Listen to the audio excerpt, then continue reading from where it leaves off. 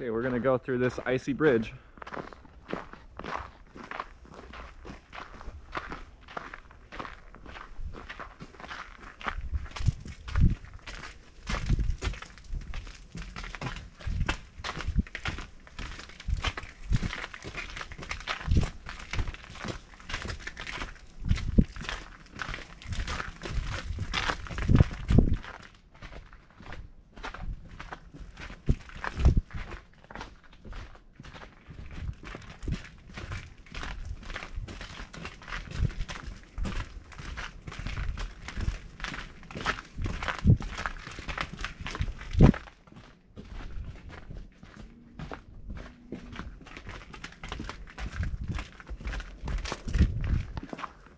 That is my second favorite part of this hike.